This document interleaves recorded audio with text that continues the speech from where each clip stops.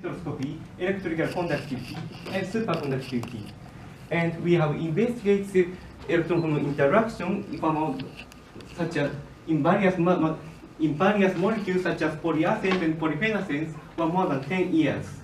In particular, in 2002, we have we have predicted that the negatively charged picene exhibits superconductivity at the temperature of about 10 Kelvin on the basis of the hypothesis that electron interactions between the molecular vibration and the LUMO play an essential role in the occurrence of superconductivity in hydrocarbons.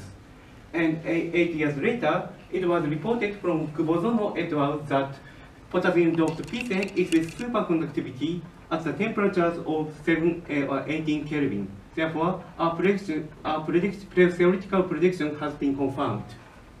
Now, I would like to talk about the, how to estimate the electron coupling constant. In the neutral molecule, the orbital levels below the HOMO are completely occupied by two electrons. But if an electron is dropped into this molecule and becomes more anionic materials, the HOMO LUMO is partially occupied by electrons. Therefore, LUMO becomes carrier. Uh, the electron occupying the LUMO becomes carrier. In a similar way, in the monocation, the uh, electron occupying the HOMO becomes carrier.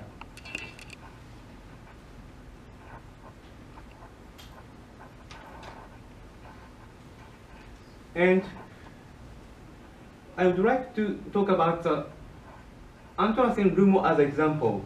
The symmetry level of the LUMO is B3U, and the direct product of B3U can be reduced as AG. Therefore, AG vibration mode is a vibronic active mode.